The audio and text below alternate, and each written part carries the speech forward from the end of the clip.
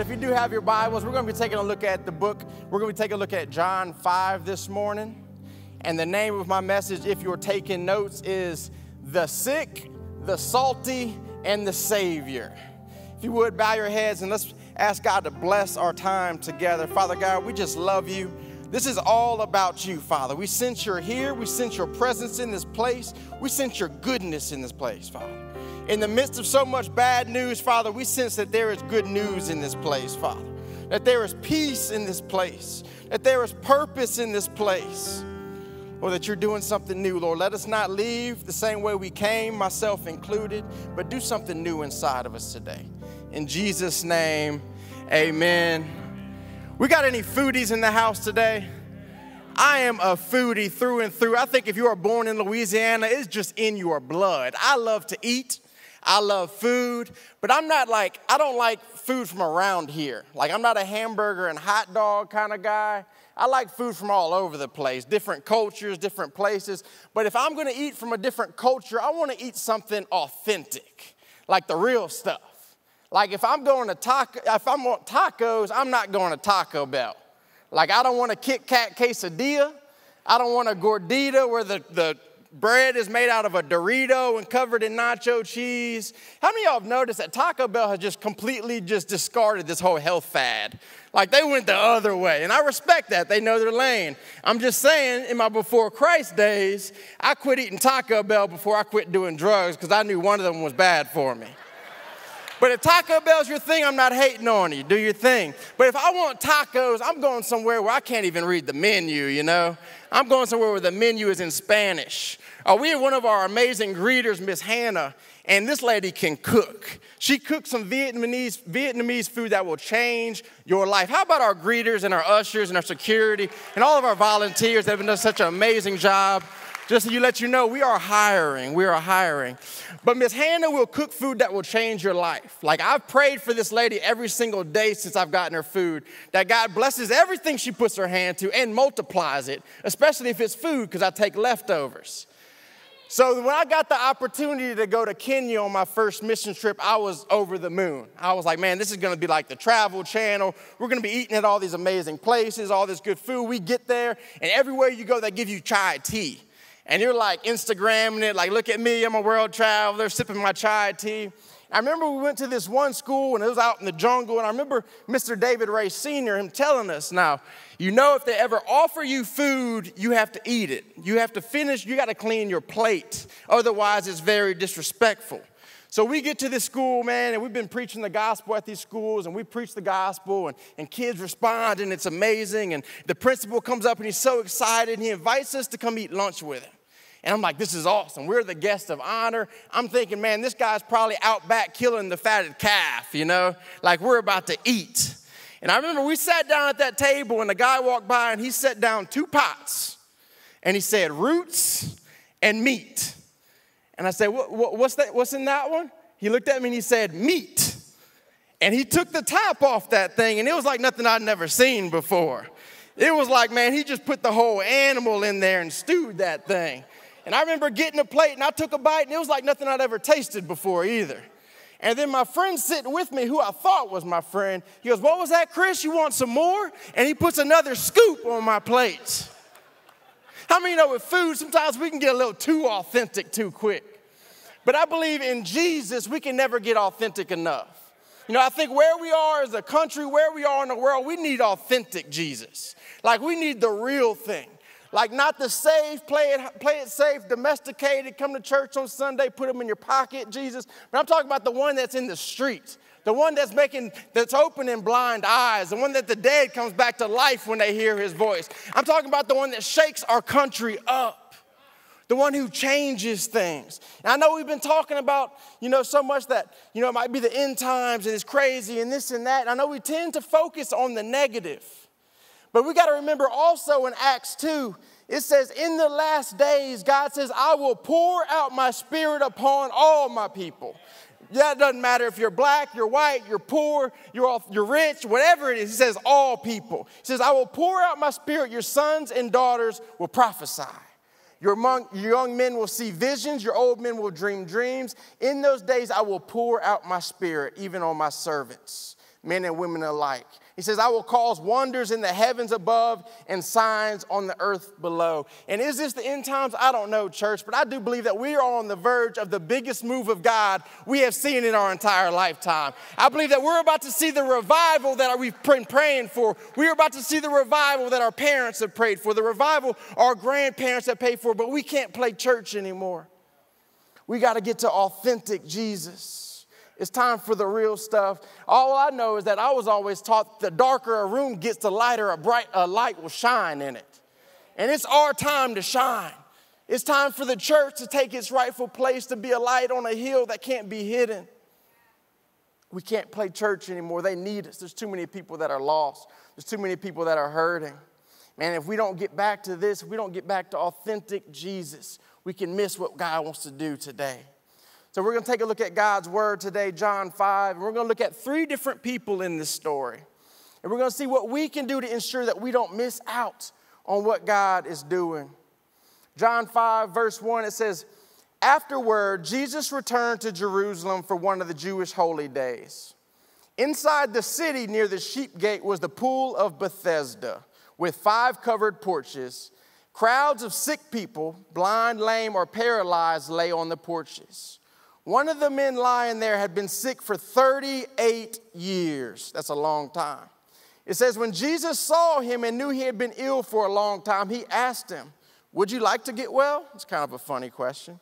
And he says, I can't, sir, for I have no one to put me into the pool when the water bubbles up. Someone always gets there ahead of me.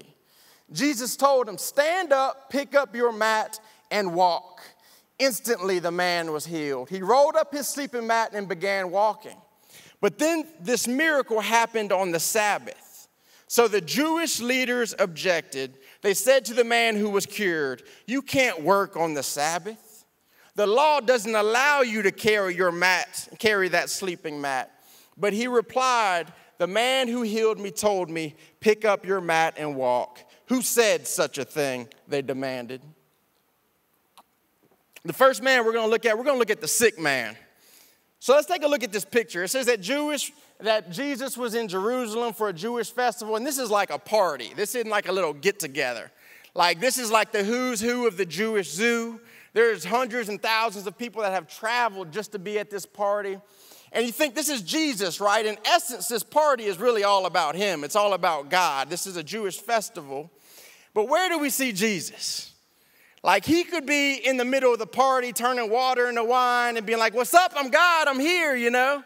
But we don't see Jesus in the middle of the party trying to be seen. We see him out with the hurting, with the lost and the lonely and the oppressed, making sure that they're seen. That's my Jesus. So it says that Jesus goes on to ask the man, Do you want to get well? And it says that the man responds with, For I have no one to put me in when the water bubbles up. Isn't that so many of us today? Waiting on the right person and the right time, you know, waiting on the right thing, waiting on our big break. And maybe you're in here and man, you're trying to start a business in the midst of all this craziness. And your thought is, man, if somebody just sees the potential in what I'm trying to do, if somebody just understands the potential in me and invests in me, everything will be better.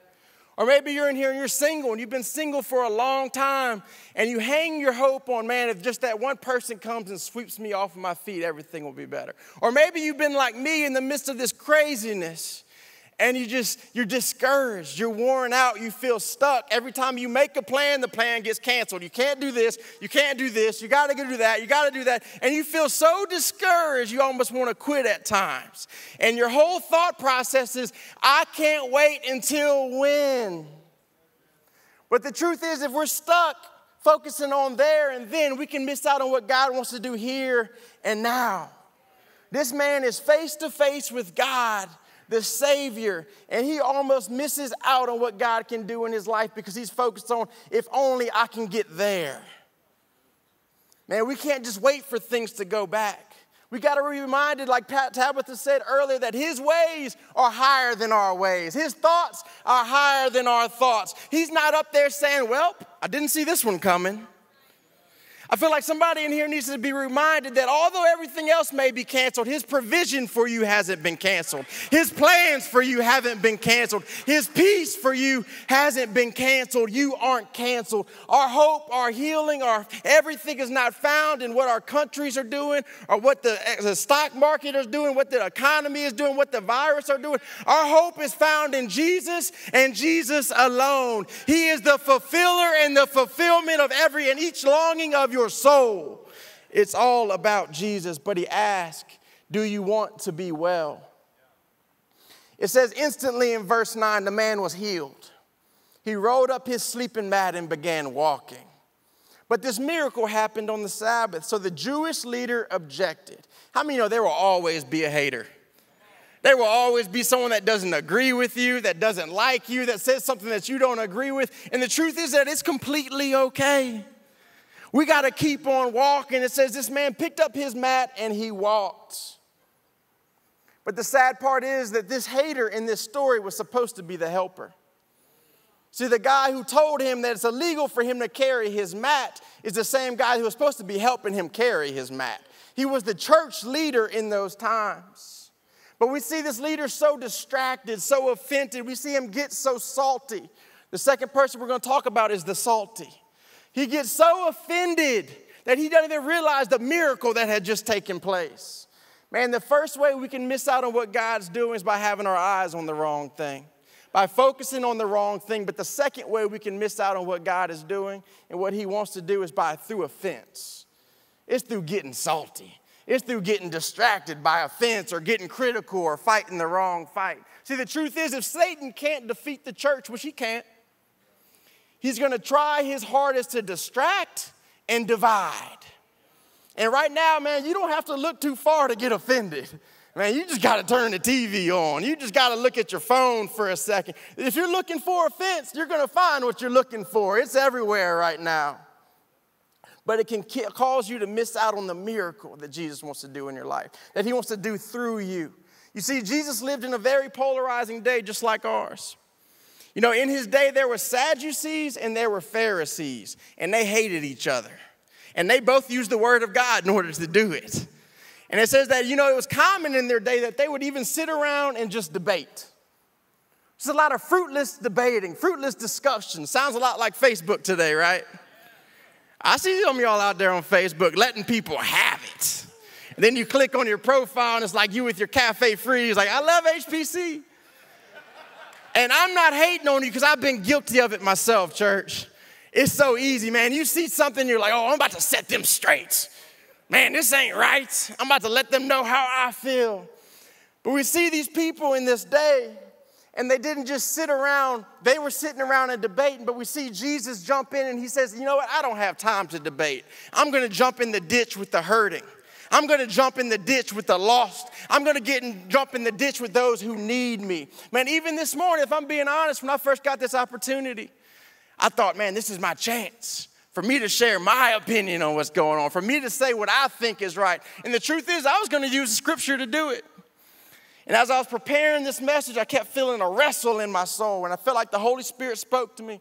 And He said, Chris, put your sword down. You see, the thing about this story is that the Jewish man was right. It was illegal for this man to carry his mat on the Sabbath. It was illegal for him to work on the Sabbath. But the thing about it is that Jesus knew that the Word of God was never meant to hold anyone down, it was meant to pick them up. We've got to put our sword down. The sword of the Spirit, the Word of God, it was never used to fight or attack your neighbor. It was, it was meant to fight for your neighbor. We've got to put our sword down. And you may be right. But if it involves attacking your neighbor, if it involves fighting the person on side of you, it involves fighting a person, man, you're, you're in the wrong fight. And this wrong fight, man, this offense, this getting offended or critical or, or focusing on what other people are doing, man, it will suck the joy out of you. It'll suck the life out of you. It'll suck the love out of you. It'll take everything out of you that God put in you in order to be a difference. It'll put everything, it'll take everything out of you that God has put in order in you in order to be the light in the midst of darkness. And it gets so dangerous. Man, let me put it this way. Where the married folk at in here? We got some married folk in here. My wife and I have been married. Man, some of y'all, yeah, you clap your hands for your marriage. That's, that's what I'm talking about. But my wife and I, we've been married, we're about to make seven years next month. And if I'm being honest, I can't tell you the reason we've ever had one fight. And it's not because we don't fight. It's not because we don't argue. And I'm not talking about what Pastor Mike and Rachel do, talking about intense fellowship. We're not that saved. It's like marital UFC in my house. But the truth is, I can't tell you one reason we've ever gotten in an argument. And you wanna know why? It's because when we start arguing, I start focusing so much. You see that, babe? I said I. I start focusing so much. I'm helping some of you married guys out in here. I start focusing so much on proving my points, on being right, that I completely lose focus on my entire purpose, which is to make sure that my wife is seen, to make sure that my wife is loved, that she's heard, that I am for her. Man, we can get so wrapped up in talking about what we're against that we're never actually a part of what we're for. We can get so wrapped up in arguing about what's right that people don't understand what we actually believe in. They don't understand that we're for people, that we love people. And the enemy wants to use offense. He wants to use it. He wants to use it. Get stuck in these debates because he knows that it builds a fence between you and those that you're called to love. It builds a fence between those you're called to share the gospel with to show supernatural love to. Now we've got to get back to Jesus. And we don't have time to get stuck in debates. There are people that are stuck in a ditch that need what's inside of you. They need to know that they're loved, that they're seen, that they're heard. And I love this verse, and I have to go back to it daily. It's in John 13 35. And this is the words of Jesus himself. He says, By this everyone will know that you are my disciples. Everyone will know that you are mine. He says, By this everyone will know that you're mine. By what you post on social media? No. He doesn't say, By the policies that you stand for, they will know that you're mine. No, he doesn't say that they'll know you're mine because you don't do bad things. Or they'll know you're mine because you come on church on a Sunday. No, he says, by this they will know your mind. And I'm preaching to myself in here. It says, by the way that you love one another, by the way that you love your neighbor, you will, they will know that you're mine. This is the litmus test for being a follower of Jesus. And you can look through every translation. You can look, this, there's no debate on this verse. He wraps it all up into this. They don't know if you follow Jesus by the way that you love your neighbor. Oh, it's so sobering. It brings us back to the heart of Christ. Who is your neighbor, you ask? The one that you don't want to love. The one who posts things that gets you upset. The one who doesn't look like you, the one who doesn't vote like you, the one who doesn't think like you. This is the gospel. Man, we were filled with supernatural love to love in a way that nobody else can. See, the church was never meant to be a home for the spiritual and moral elite. It was meant to be a place for the hurting, the lost, the lonely, the ones who everyone else has given up on.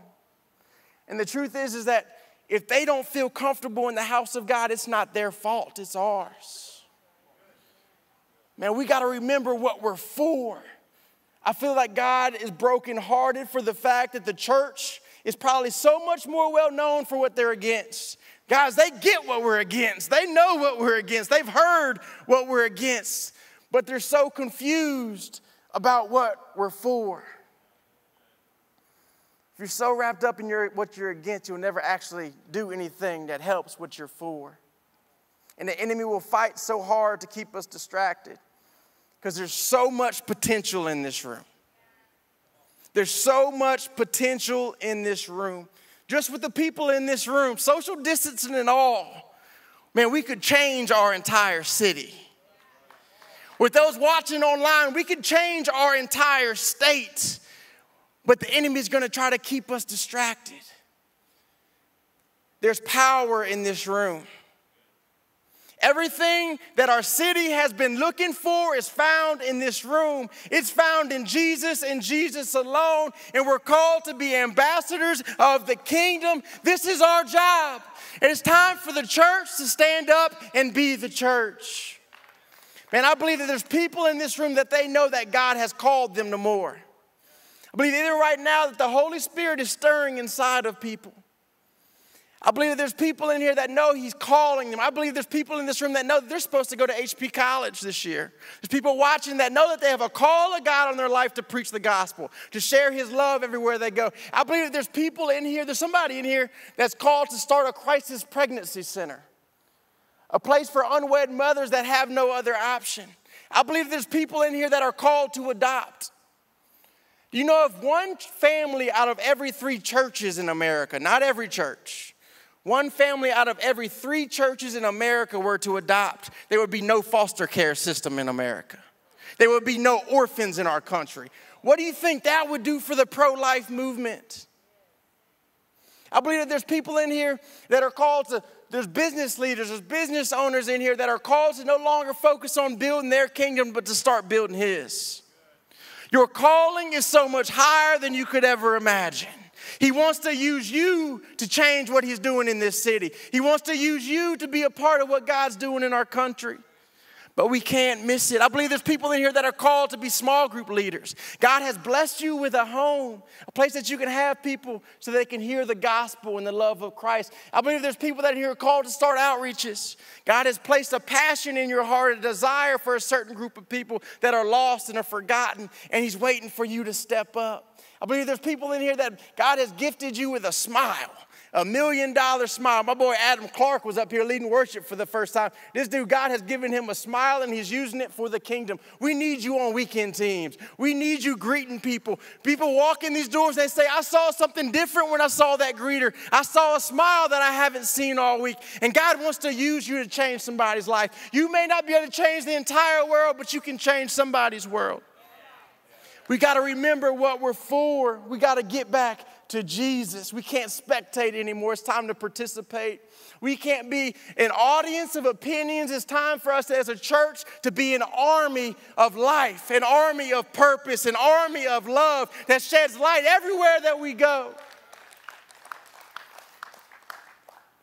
And it all starts with the same call that it started with 2,020 years ago the call from the third person in our story, the Savior. Do you want to be well? See, the thing about this story is that the man on the mat and the man who got offended are the same. One had nothing together, the other one had everything together, but they were both spiritually stuck. But that's where the Savior came onto the scene. See, John 1:14, it says that the word became flesh and dwelt among us. The word became flesh and dwelt among us. There's power in that verse. There's hope for somebody in that verse. The word became flesh and dwelt among us. That verse, this story, is a picture of empathy and empowerment. The Word became flesh and dwelt among us. The Bible says that Jesus knew that this man had been sick and he'd been there for 38 years. That's longer than Jesus had been alive at this point. And how did Jesus know that? Because I believe that as Jesus, as a young boy, grew up going to the temple every year for this festival, Jesus saw this man. He saw this man there sick. He saw this man there lonely. He saw this man there stuck. And I believe as a child, he probably walked by, and Mary and Joseph probably told him, Oh, no, son, don't go, don't go near that man. He's sick. And the Bible actually goes on to say that this man was sick because of his sin. And Mary probably told him, No, no, don't go over there by that man, Jesus. But 30 years later, Jesus couldn't help himself. 30 years later, it says that the Word became flesh.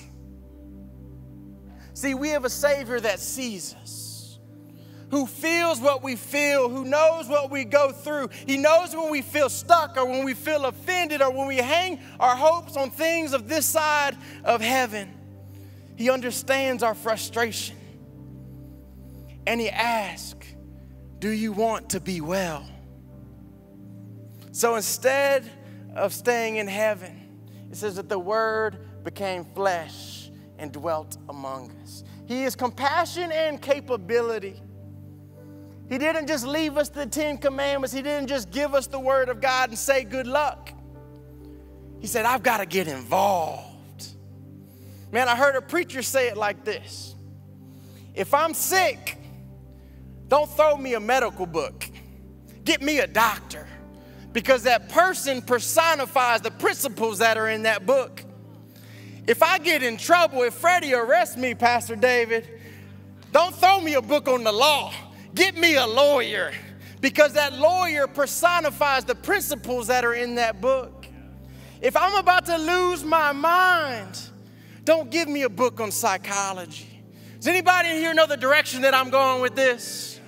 And Jesus looked down and he knew that this man was stuck in his sin. This man was stuck in his offense. And he said, I can't just leave them more rules. I can't just tell them to do this. I've got to get involved. And it says that the word became flesh and dwelt among us. And he's among us in this place this morning. He's among us in this place this morning. He sees what you're going through. He knows the hurt and the pain that's in your heart. He knows the frustration that you're dealing with but He wants to get involved. He doesn't just give us more rules, He says, No, come to me. If you need peace, He doesn't tell you to do this, this, and this. He says, Come to me. If you need purpose in the middle of a pandemic where it feels like you can't do anything, He doesn't say, Go here and do that. No, He says, Come to me. Whatever it is, He says, Come to me. If you need clarity, come to me. See, he knew that he could not redeem us and be removed from us. And he dwells among us today. If you've been looking for something to give you life in the midst of all this, I have found a well.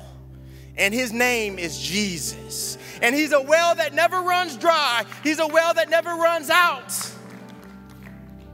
But it's all found in Jesus. And he doesn't need our plan, he doesn't need our help.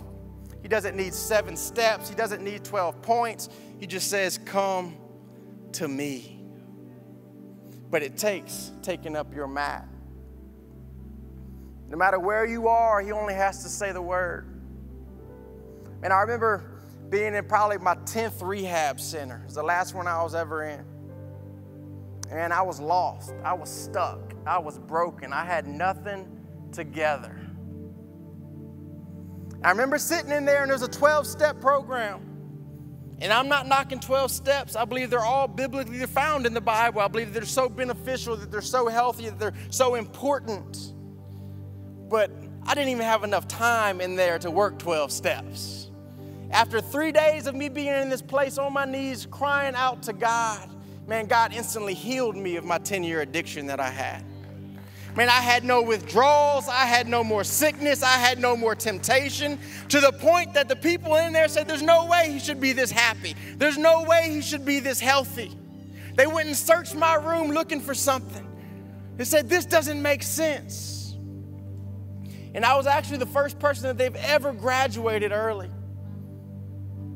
But it's because I took up my mats.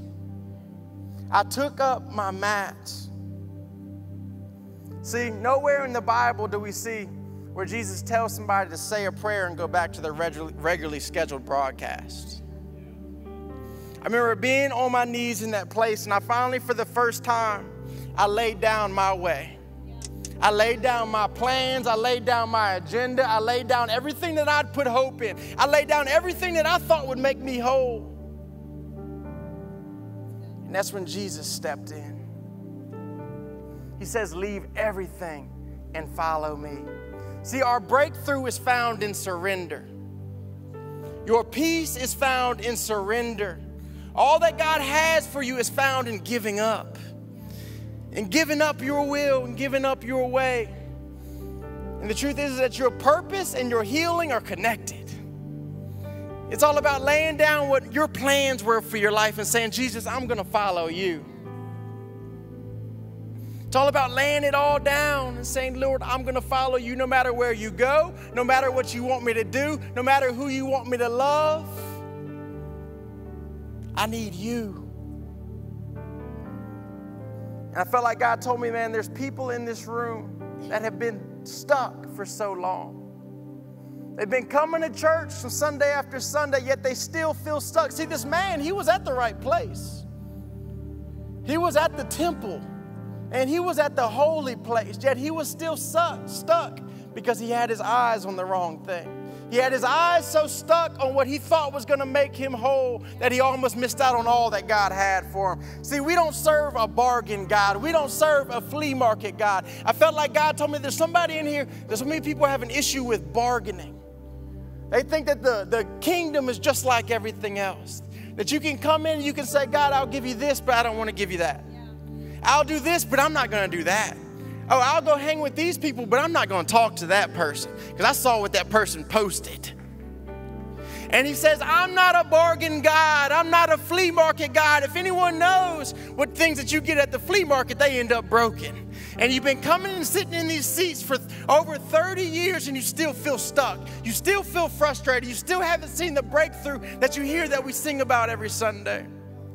It's because we serve an all or nothing God. He says, The one who lets go of his life will find life, but the one who holds on to his life will lose it. This is the God that we serve, and he's in this place. The flesh, the word became flesh, and he dwelt among us. And he asked us today, Do you really want to be well?